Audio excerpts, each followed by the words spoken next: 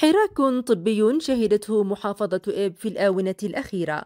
تمثل في إقامة العديد من المؤتمرات الطبية في مختلف التخصصات وبحضور العديد من الخبرات المحلية والعربية والتي أثرت تلك الفعاليات بالعديد من الأوراق العلمية وآخر ما توصلت إليه الأبحاث في طرق التشخيص والعلاج.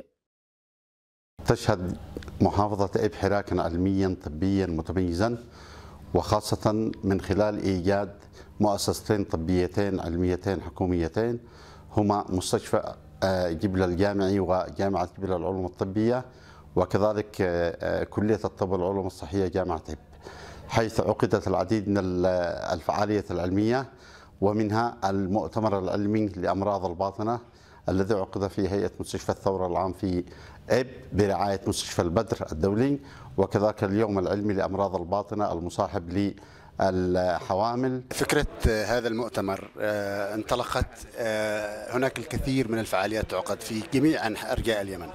لم يتطرق آه، أحد من المؤتمرات إلى موضوع مهم بحجم الموضوع هذا الذي تطرقنا له في هذا المؤتمر وهو الأمراض المزمنة والصحة في رمضان.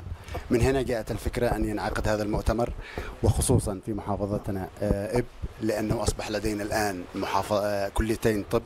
فنحن حريصين جدا على أن تلاقي هذه المخرجات آه، بيئة خصبة لاستمرار التعليم والتحصيل العلمي المستمر. مؤتمر الطب الباطني في نسخته الثانية تحت شعار سد الفجوة في الرعاية الصحية. أحد المؤتمرات الطبية المهمة والذي نظمه مستشفى البدر الدولي بالتعاون مع هيئة مستشفى الثورة وحضره 500 استشاري في أمراض الباطنية والقلب. ناقش فيه الحاضرون التجارب والاكتشافات والتقنيات الحديثة في علاج أمراض الباطنة ومواكبة التطورات الطبية الجديدة في هذا المجال.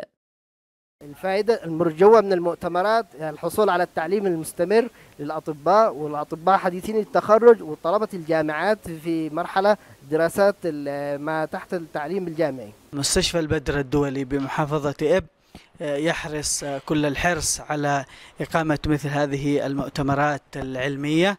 وبإذن الله سبحانه وتعالى سيكون لنا مؤتمرات آه، قادمة لما لها من أهمية فاعلة في التوعية والتثقيف حيث هو نهج وزارة الصحة العامة والسكان في الجمهورية. المؤتمرات الطبية واستمرارها خطوة في الاتجاه الصحيح في تطوير القطاع الصحي لما تقدمه من حلول مبتكرة وحديثة للمشكلات الصحية.